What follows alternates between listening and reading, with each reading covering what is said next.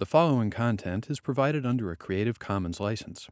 Your support will help MIT OpenCourseware continue to offer high quality educational resources for free. To make a donation or view additional materials from hundreds of MIT courses, visit MIT OpenCourseware at ocw.mit.edu. Hope everyone had a great Veterans Day break yesterday, spending it, of course, as um, I checked my test audience, spending it mostly doing UROP or research or psets, but at least one person got to watch TV. So at least one person got to have a real break, and that's something truly amazing and special. So now we're going to talk about SVMs. They're pretty much the hardest thing in 6034. However, in recent um, in recent years, a few shortcuts have popped up that will sometimes allow you to solve the question depending on what they're asking for without solving some vast, ugly set of equations with a vast, ugly number of unknowns. So I'm going to show that to you guys. I'm also going to try to explain all the alphabet soup that's in neural nets and what all the letters stand for because uh, it took me a few times going through, uh, going through the SVMs. It took me a few times going through SVMs to actually find out for sure what all those letters stood for. And if you guys figured out first try, that's going to be great. And you guys will be just fine. So let's take a look at the problem that's perhaps most optimized for using some of the shortcuts to solving it. And um, not putting up all of the equations. Then I will, because I am, not because I'm sadistic, but because I'm being nice, I will force you with me to solve um, some of the things they didn't ask for us to solve so that you can see that you can't get away with everything without um, doing some of the harder stuff.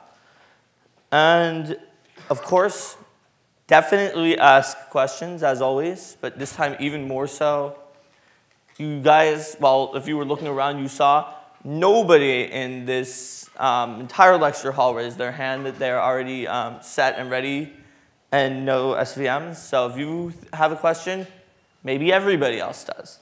So let's go. You'll start right here. As always, pretend that I can draw and that therefore all the pluses and minuses are only on integer um, coordinates so we are asked in this problem to circle the support vectors, draw the edges of the street, and then the dotted line in the middle that separates them, the separator, um, as a dashed line, and then to give W and B. So what are W and B? Well, there's a few important equations in um, in SVMs that we really hope, and I'm going to tell you we're lucky in this because we don't have to, but we really hope that we don't have to use because they provide a huge number of variables. So one of those um, crucial equations is that for a, for a plus support vector, w vector dot x plus, the plus support vector, plus b equals 1 w dot x minus plus b equals minus 1, and w dot, that dotted line, I don't know, we'll call it dot dot dot plus b equals 0. So what does this mean? There are a lot of vectors. Well, I mean, we're usually in two-dimensional space, so we can basically just say that there's two components of this w vector, w1 and w2, and they're just two coefficients in a linear equation. So to get, uh, for instance, what we're interested in finding, this dot, dot, dot line, we'll just call that x with nothing on it. Actually, maybe that'll be easier. This is equivalent to saying w1 x1 plus w2 x2 plus b equals 0, where x1 is this and x2 is this. We would possibly call them x and y. So one way to think about it is, you know, W1 we call it A, AX plus call W2 B, by, oh, don't call it B. Well, AX plus CY plus B equals, I'll put this all in parentheses. This is basically an equation like this, or, you know, Y equals um, negative A over C X minus B over C. Is basically Y equals MX plus B. Does everyone see that? This thing that we're looking for, this W dot X plus B equals zero, is the equation of a line on in Cartesian coordinates. It just looks uglier. Normally, um, when we are doing all this solving for W and B, we would have to put in equations with the um, tons of equations, plug in all of the support vectors in there, and we'd have to use these little devils called alphas, which um, alphas essentially, if it wasn't clear in the lecture, which it usually isn't completely clear to everyone, wasn't clear to me completely, alphas, the way I like to think about them, the alphas in this problem, is they are the weight of how significant any particular point on the graph is towards creating the boundary. This, the higher the alpha is, the more that that point narrows in the boundary. The lower the alpha is, the less that that point narrows in the boundary, the wider the road can be. And if that point doesn't do anything, if that point is irrelevant and could be removed and wouldn't affect the boundary, the alpha is, everyone, Zero. Well, that was one person, but you can suffice for everyone. The alpha is zero, and that means if it's not a support vector, if it's not one of the vectors on the boundary lines, it will always have an alpha of zero because it doesn't affect. So, keeping that in mind, there's a few fun and important equations about alphas that we'll need if we're solving many equations for many unknowns, which hopefully we won't have to do. The sum over the positive alphas equals the sum over the, the alphas of the negative points. This is true over all the points, but since all of the alphas are zero except for the support vectors, it also means the alphas of the positive support vectors are equal to the alphas of the negative support vectors. Additionally, our old buddy the w vector is equal to the sum over the all i that are plus vectors of wi alpha i minus I'm over j minus vectors of wj alpha j. Now, all of these equations can be used in a bloody mess to um, figure out the answer to what we're trying to find, which is circle the, well, actually they can't be used to circle the support vectors and draw the, um, draw the dotted line. But once we do that, all of these equations can be used in a bloody mess to give us the, what, the next thing that we want, which is W and B. Um, so fortunately, there's another way to get W and B. If you guys really want, at the, at the end of the hour, we can also try to get, uh, try to derive W and B using the many equations and many unknowns, but it's a bit painful. We'll try to do it the cool way. So let's start off. This is the one we're looking at. We need to find where the support vectors are. So the first thing we need to do is simply eye it. Fortunately on the test, there will always be ones that you can eye if you're supposed to circle the support vectors. There's obviously some number of pluses and some number of minuses. I say obviously, but maybe not. But hopefully, obviously, and we'll find out because I'm going to call them random people. So give me um, a positive support vector.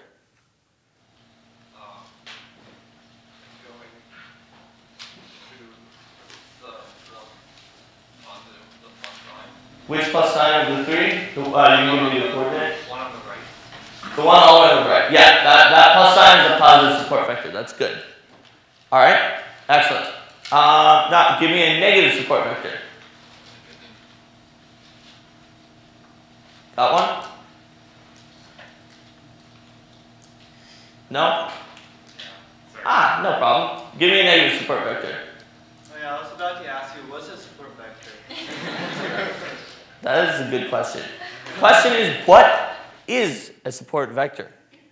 How many other people uh, will admit to having this question? See, you're not alone.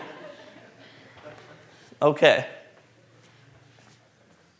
Before I go on, I'm going to assume, guys, make sure I'm correct. Monday was, um, uh, just making sure so I can tailor it based on this. Monday was the support vector machine lecture, um, but it was also very difficult to follow. That's what I, that's what I usually expect. So um, what is a support vector? Well, all these pluses and minuses, if we were, if we were me and we, if, I guess, yeah, if we were me and I was describing this problem, the one that we work out in class, I would call them points because they're on the graph, they're points, they're data points. I would call, but however, in more difficult versions of this problem that have n dimensions, where n is some ridiculous number of dimensions that you're never going to graph, like say, you know, some of the research I'm doing now, I could use support vector machines on some of these articles that uh, I'm reading about cyber events to try to figure out if there's a real event or if it's just someone complaining about how we're really vulnerable or something like that and no event actually happened. So the reason why they call these guys vectors is when you're not able to graph them on a Cartesian plane, there's still this long you know, vector of many different dimensions. Right now, though, these points represent the vectors. It's just very simple. It's easier to view them this way. But for instance, that plus at negative 1, 2 represents the fact that there's a vector going in the direction of negative 1, 2 with a magnitude su such that it reaches negative 1, 2. So all of these points are just a point representation in vector. You probably, in any class that worked with vectors, saw this, saw vectors being represented as points. Question? Always from respect to the origin? Uh, yes. The question is always with respect to the origin. The answer is Canonically, when vectors are represented as points, yes, it's always with respect to the origin. So that's the basic idea is that all these points are vectors. So what are support vectors? Well, we could call them support points for this case, but the reason we call them support vectors is, again, in the generalized case that you might be doing in the real world with real AI, you're going to have a giant vector, and it's not just going to be points on a graph. Um, well, usually. So the support vectors, the support points, we found one of them correctly. It's this guy. They're going to be the ones that, again, they don't have an alpha of zero. They're the ones that bind in the, as Patrick calls it, the road, the boundary lines. They're going to be on the edge of plus, whichever direction we draw it. This plus is the edge of the plus region. If we made this the edge of the plus region, and everything on this side is plus and everything on this side is minus, we'd be screwed because there's two pluses on the, um, on the other side of that. Generally, when trying to find the support vectors, you do something a little bit similar to my crazy method of uh, doing nearest neighbors and try to find a plus minus, excuse me, a plus minus pair that's close to each other. Sometimes, though, it's not just two points. Because sometimes if you try to draw the simple-minded thing, which is sort of the perpendicular bisector of the two points, you get screwed because there's another point in your way. So now that I've given away a clue, let's go, um, and hopefully that made sense to you guys. The support vectors are the ones on the edges that are just barely a, a plus for sure, or but barely a minus for sure. Let's go back. Can you give me a negative support vector? Hmm? The top negative point? The one on the top left? Yes. And does anyone think that there's a third support vector? Well, let's simple-mindedly try the thing that, remember, support vectors always attempt to have the widest possible space between the pluses and the minuses that they can. So let's simple-mindedly try to do the um, perpendicular bisector and see if, it, see if it screws us over.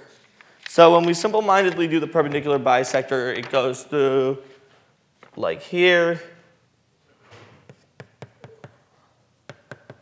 like this, and it's just fine. So these are the only two support vectors.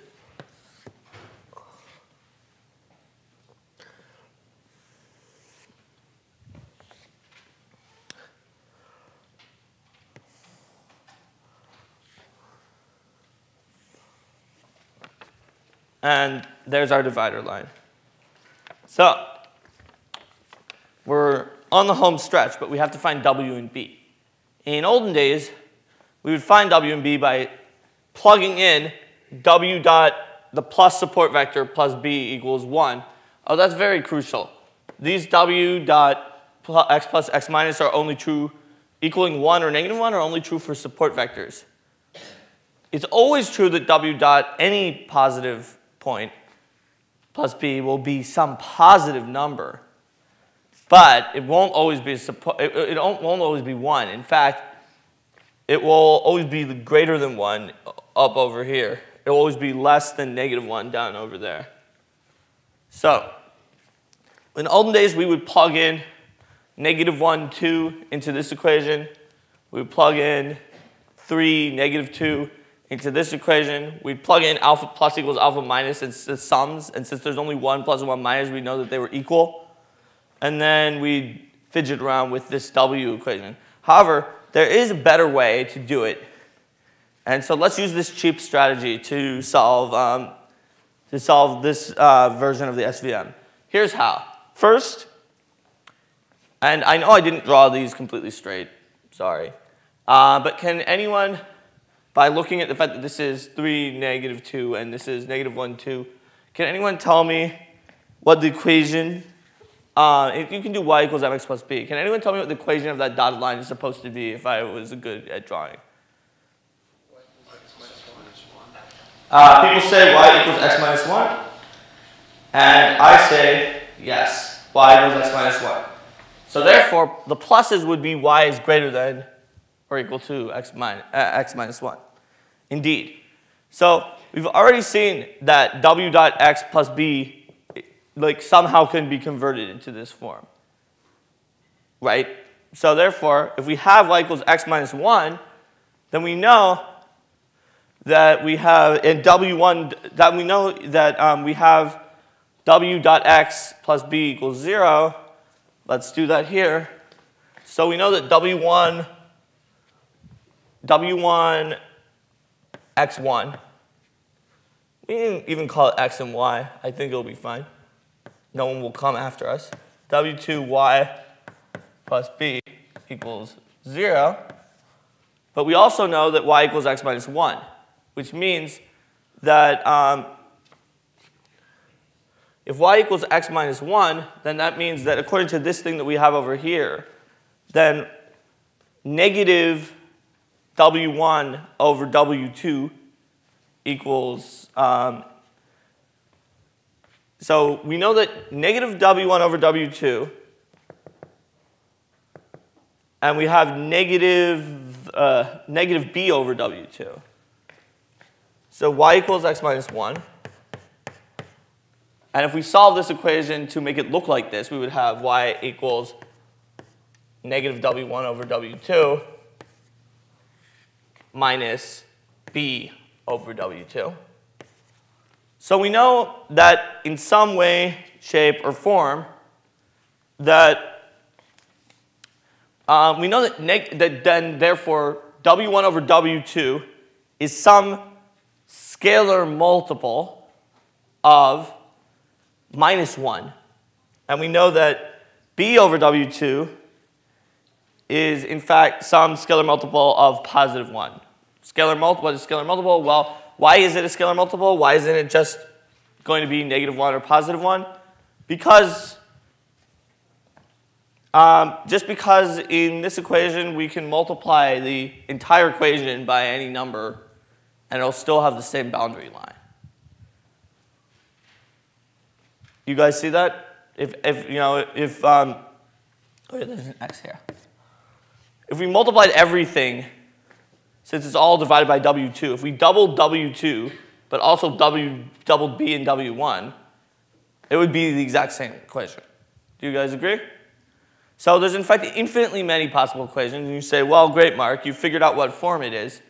So you figured out that W1 over W2 equals um, some scalar multiple of, of negative 1. So it's negative 1 times What's everyone's favorite letter? K. Negative 1 times K. And we figured out that B over W2 is, I guess we can just do negative K, is positive K. But what's K? How are we going to figure it out? Well, it's a good question. I will tell you how. I will assert the following fact as true without proof. Then I will not prove it. Um, 1 over the magnitude of W, which is this vector here with W1 and W2, equals this. Where this is that line that I just drew, the line from here to this point.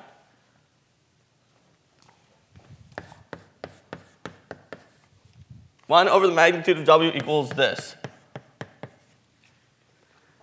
Therefore, since 1 over the magnitude of W equals this, and this equals, I believe, 2 root 2, because we're going over 2, down 2, Pythagorean theorem, 2 root 2.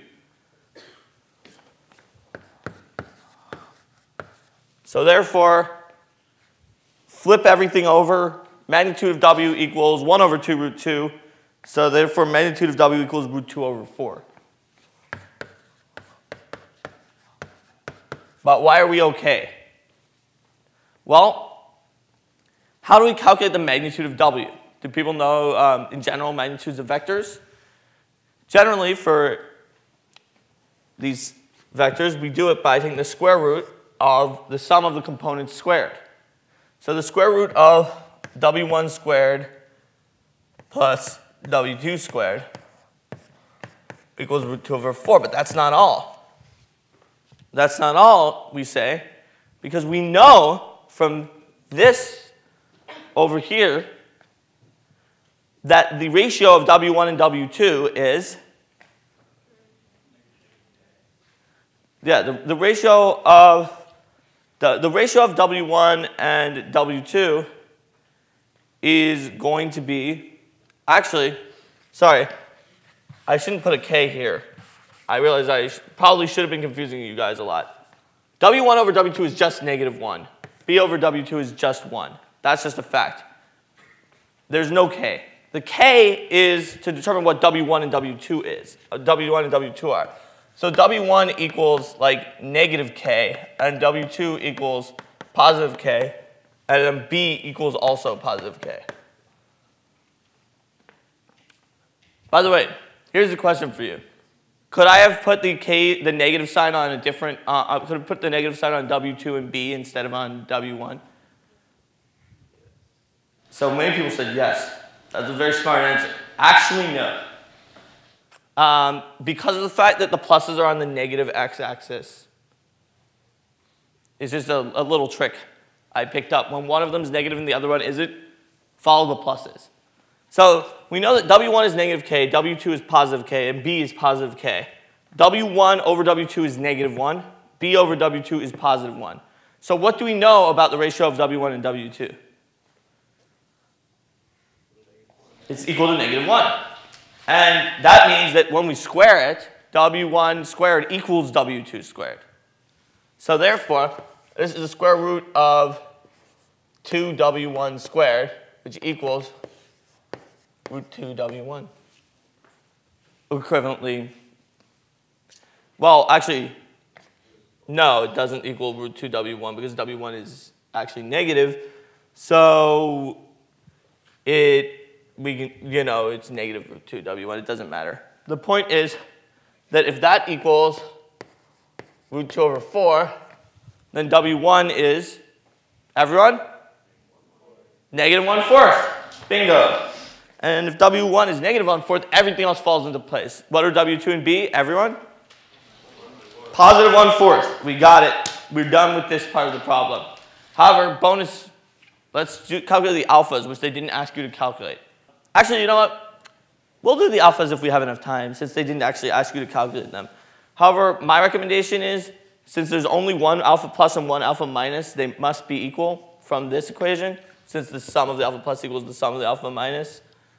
And so therefore, sum of the W, uh, sorry, W equals the sum of W, sorry, this should be an X. of course, there's not a million W's in this equation. The sum of the points, the positive data points times their alphas minus the negative data points times their alphas. So we're looking at here um, negative one quarter, one quarter equals, um, what have we got here? Positive point, negative one, two. So we've got alpha plus, or alpha of that point, negative one, two, minus alpha of that minus point, and what is that? It's three, negative two. Three, negative two.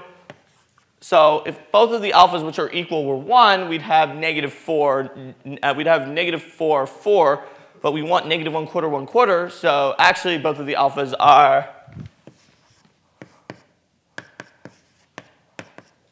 one sixteenth. And that's the answer. We'll do that more in depth if we have time, but we won't. So let's do number two. So let's go into faster mode. Number two, very similar to number one in many ways, but as you can see, one of the main things is they added an extra minus sign at 2, negative 1. So I think we can all agree that this will still be our plus. Actually, they added another plus sign there too. So maybe this plus sign is a support vector, but it's not. This plus sign is a support vector. What do you guys think about the new negative sign? Will it become the support vector since it is like strictly closer to the pluses? Yup, you're right. Okay, so this is a very beautiful division because if I drew this correctly, which I didn't, but if we pretend that I did, then the dotted line is y equals x.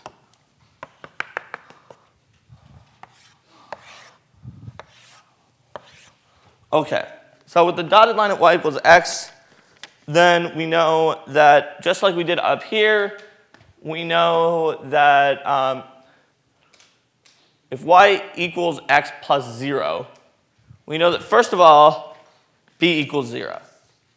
Second of all, we know that we've got um, just if y equals x, then we know that um, negative w1 over w2 equals 1.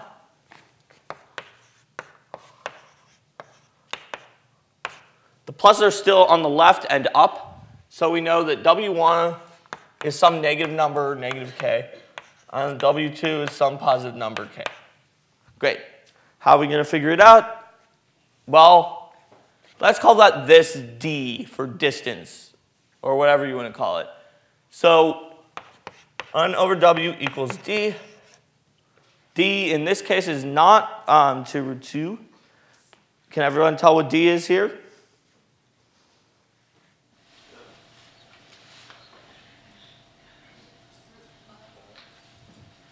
It's actually, so it goes over 2 and 1. So it should be 1 and a half root 2. Since this with distance, which is twice as much, goes over 3 and 3, which is 3 root 2. So it's 1 and a half root 2.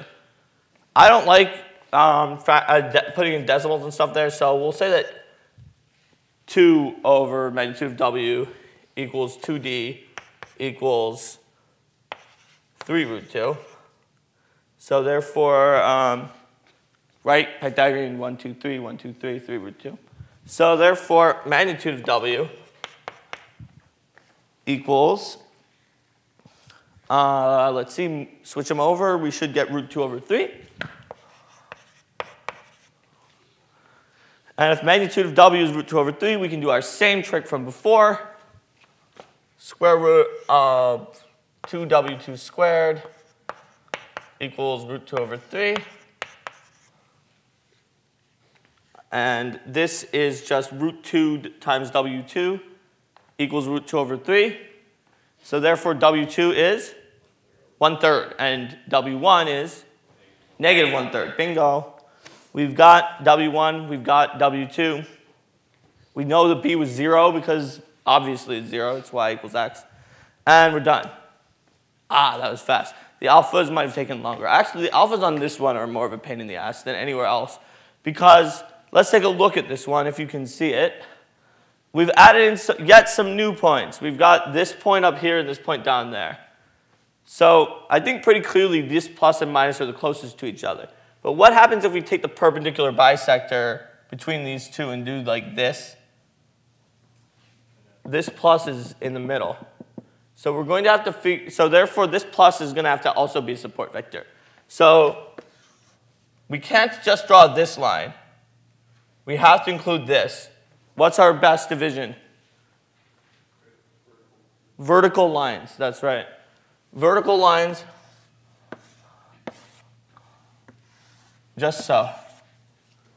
And that means that the equation of our, um, the equation of our boundary, the dotted line here, y-axis. So if the equation of the boundary is the y-axis, then b equals 0, and hell, w2 equals 0. So the only thing that is not, ah, w2 equals 0. So W2 equals 0, B equals 0, but W1 is not equal to 0 because it's just the equation of the y-axis. So um, we therefore know that the equation is just W1 times X equals 0.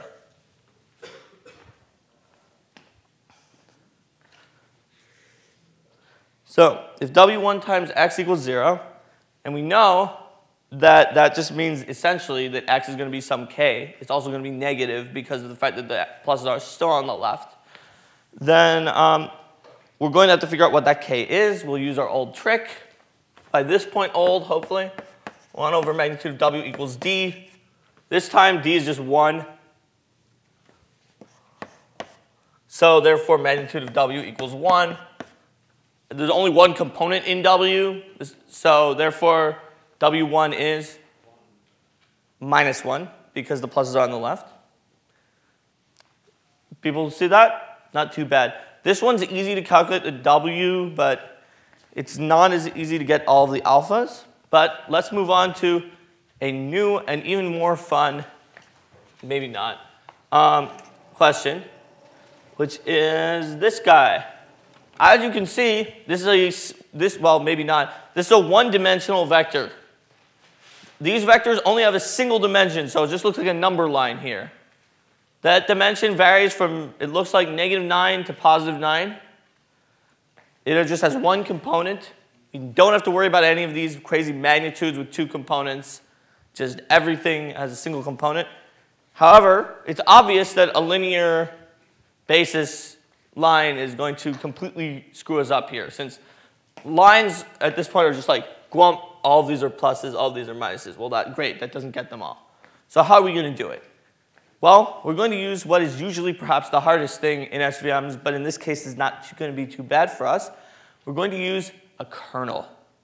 Now, based on how little I understood kernels the first time uh, I took this class, I'm guessing that you guys would like to have some explanation on these kernels. You probably saw them. You remember the kernels from um, Patrick's lecture vaguely? They're like this phi, and then there's this k, and then they get really complicated. Okay, so here's how the kernel works. The basic idea is this, and I'll write it over here. Oh, wow, there's more stuff. Okay, I'll write it right here. The basic idea is this. We're taking the normal space, which is you know, this number line, or it could be any kind of normal space, and we're going to take a vector, we're going to put it into a, a, a function called phi, and phi of vector x brings x into some new dimension. Phi, or phi if you like it better, is usually a nasty piece of work and something that you'd never ever want to look at. Sometimes it's not too bad. Phi is the function that brings it into the new dimension. Okay?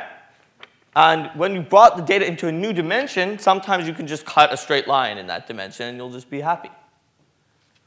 However, something that was noted by the very, very smart inventor of support vector machines is that you don't actually need to, to, um, to work with function phi, even if phi is an absolutely horrible monstrosity, because of the fact that you never need to know what the vector x, what all these vectors x actually are in the new space, at least not directly. In none of these equations up here do we ever use x by itself. However, we do use x being dot product with something else. So he figured out a very sneaky and excellent shortcut. Okay, so, oh, I shouldn't use x1, x2. I'll use x and um, uh, z. So if you have two vectors x and z, which are in a regular space, you put them into this function called the kernel, then it will tell you phi of x dotted with phi z. And if you have that, you don't need phi. Does everyone see that? Does everyone see why we don't need phi? Look at all these equations up here. We never look at x by itself in these, um, in these vector equations, at least. Now, calculating alphas, yeah, that gets a little bit fuzzy. But in the vector, but in the vector equations, also, you, yeah, you may ask, like, why would you do this? You can't calculate the alphas. It turns out um, that actually other than for these very simple linear problems, human minds cannot calculate the alphas. In fact, you run a very complicated quadratic optimization. In fact, finding out the best alphas is the thing that you hill climb on when you're doing SVMs in the real world. You say, all right, I'll run my, uh, my algorithm on. I know there's only one peak, which is very, very good because it's quadratic optimization. Let me figure out the alphas. So, in fact, it doesn't matter that you can't do use these alpha equations to figure out the alphas um, if you've gone into, if you only know the kernel function, not the phi function, because normally the computer figures out the alphas for you um, with quadratic optimization. Just in these simple problems, we know you can calculate the alphas. So we have the kernel, which replaces, the basically gives us the dot product of the things in the new space. So being that as it may, I'll give you the kernel here. I'd like you to give me the phi. So a kernel for, uh, someone got an idea, whose name was Susan Q, random student, apparently. She got an idea that if we had a kernel for x and z, actually they're not vectors, I guess, they're just single components. And the kernel equals cosine pi over 4 x times cosine pi over 4 z plus sine pi over 4 x plus sine pi over 4 z. So that is the new dot product. Cosine pi over 4 x. Oh, wait, sorry, I put one of the z's not inside of the parentheses. That was silly of me. So cosine of the quantity pi over 4x times cosine of the quantity pi over 4z plus sine of the quantity pi over 4x plus sine of the quantity pi over 4z. It's the new dot product. So that begs the question. In this one, this is an easy one, so we can calculate the phi. What is phi of x? We're actually taking it from one dimension, and we may be playing around with it a lot to get this, this thing has become a new dot product. It replaces dot product. Now remember that the dot product for scalars would have just been multiplying the two numbers together. So it actually makes it a little bit more complicated. Does anyone think they know the phi? Ah, we've got one. What do you think? X, x to cosine over 4x sine over 4x. You mean to become a vector, two-dimensional? Two points.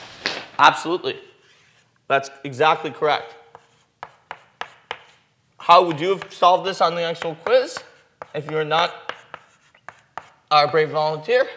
Well, that k, if you squint at it, not very much actually, is pretty much a dot product between cosine pi over 4s and sine pi over 4s. I mean, look at it. Dot product is just, remember, if the dot product of x and z vectors is x1 is x1 z1 plus x2 z2. So that basically is x1, z1 plus x2, z2. Oh, this should have been a times. Yeah, this should have been a times. Sorry, there's a plus there. Anyone who missed it because of that, my bad. That should have been a times, there should have been times up there. The pl only plus is, it's cosine pi over 4x, cosine pi over 4z, plus sine pi over 4x times sine pi over 4z. So yeah, it's basically the dot product between cosine pi over 4x and sine pi over 4x. Bingo. All right, last thing. And then we, well, we're not done yet because we're going to maybe ask some questions and then we're going to see if we can calculate those alphas. But last thing, let's graph in this new dimension all the points. So obviously cosines and sines. So we're going to get results between 1 and minus 1. Let's see, maybe I can graph it. Um, did I write on all of these? Wait, maybe this one. Uh, oh, no, people drew weird stick figures there. Okay. Oh yeah, this one's kind of messy, but we'll do it on this. Okay, so we've got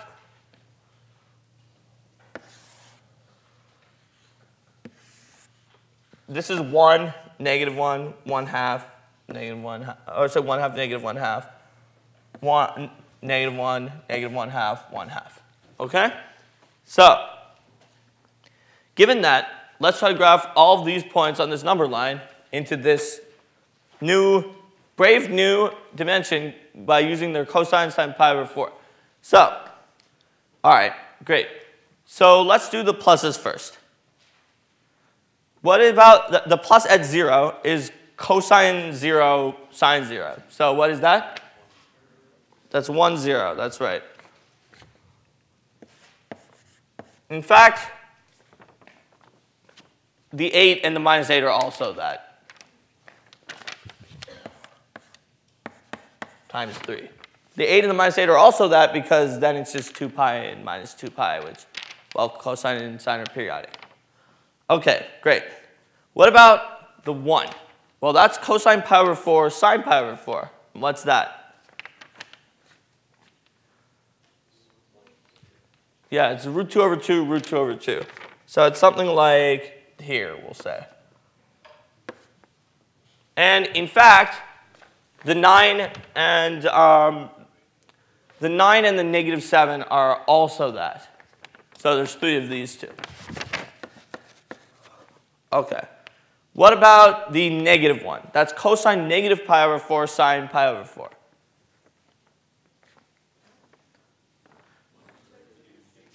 That's right. The x value is positive root, root 2 over 2, and the y value is negative. So, and again, there's three of them. All right, great. Now let's do the minuses. There's the minus at 3, which is also the same as the minus at negative 7. The minus at 3 is cosine 3 pi over 4 sine 3 pi over 4. Which one is that?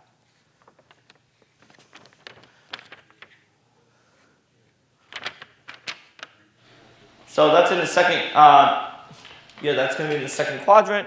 We're going to have the cosine is going to be negative, but the sine is going to be positive. And so we get three points here. And as you may have predicted, the other one, um, the 5 pi over 4 is in the third quadrant. We get three points here. What are the support vectors?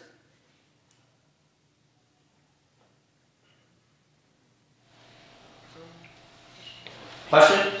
Um, I understand where you're getting the three quantities of plus in the first and fifth quadrants, but according to the bar line there, the total of four negative values. Oh, you're right. There's only two. Good call. There's two negatives here, and there's two negatives here. Good call. Doesn't change the problem. In fact, if we just graph more points, there might have been more, but there's a very subtle and important distinction. There are two negatives. But otherwise, yeah, these are graphed correctly. Does anyone see where the support vectors are?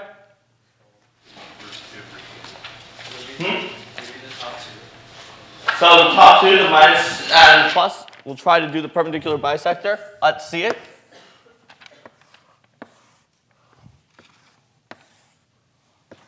That works, but guess what? These guys are on the same line, so we better circle them. So it's actually, the question is what isn't a support vector? Only this, only those three. Question? Just done this in one dimension? I mean, you just proved that actually, you just showed that those land on the same line. So you really didn't need like the cosine term and the sine term. You could have done all this with just the cosine. All right, the question is, couldn't we have done this in one dimension? All we do is do only the cosine. So if we did only the cosine, um, then they would have still been divide, easily divisible. The answer is absolutely. We could have. However, the question did not because Susan Q. Random student decided to do cosine and sine. But yes, if we had said, you, 6034 student, find a phi that will work for this, you could have found a phi that was just cosine. It would have been easier. However, it's important to be able to work with what somebody else gives you. In this case, they gave you, um, they gave you that transformation, which, yeah, was a wasteful with an extra dimension. You didn't need the sine. Because you didn't need the y-axis really here. Um, you just needed the x. Does everyone see this? How this works? Can maybe transform dimensions? The main hardest part is they'll usually give you a k and ask for a phi, or give you a phi and ask for a k. But it's not too bad. Just remember, if they give you a phi, do a dot product with it. And if they give you a phi that's just one component, dot product of one component, just multiplying it together. Easy enough. If they give you a k, treat it as a dot product and try to reverse engineer. It's usually something like this that's easy to reverse engineer. I really haven't seen it where it's not. So it may look, it, may, it, it, often looks like the scariest problem, but it's usually not too bad to go between phis and k's. Does anyone have any questions on anything that we did on support vector machines? Question? What is, so what's the intuition behind the W?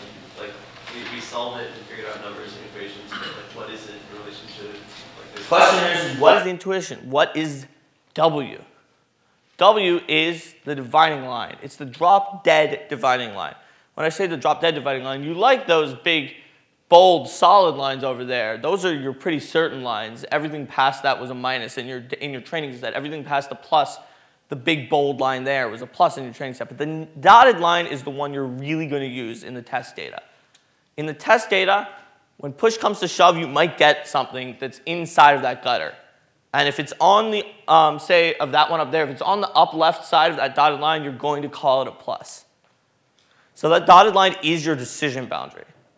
And that is, um, that is basically the idea. And in fact, the way that the algorithm would do it on the computer is it would quadratically optimize the alphas, which messes around with the dotted line.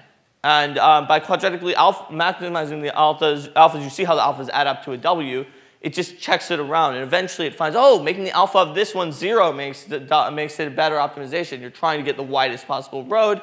It would eventually come out to this. This is trivial for a human to eyeball, but some real problems with 200 data points that have to get one or two of them wrong, classified, and so you may be using a quadratic kernel or something like that. You can't do that. You just can't. Well, maybe you can, in which case you should be getting a MacArthur uh, fellowship or something like that. But the computer can't. And the basic idea is when it comes down to it, it figures out the alphas that give it the, be the best W for a widest road, and the W is your decision boundary. Good question. Any other questions about um, our old friend SVM? Uh, I have a question for you. Um, after seeing this, and let's pretend that they only ask you to solve for W's, B's, you know, these kind of kernels and phi's, which are typical things. How many people now think that um, you can go through and work an SVM problem. All right, we've got, we've got a few. We've got a happy few. Uh, band of brothers, maybe eight people raised their hand there. That's good. How many people know what a support vector is now? That's really good. Because that, if that's all you learn from today's Mega recitation, it's still good. It really is. I'm telling you, I had to take two classes on this and then TA it before I really, really understood it. So you guys are ahead of me. All right, take care. Have a great weekend, and we'll see you for boosting and vampires next week.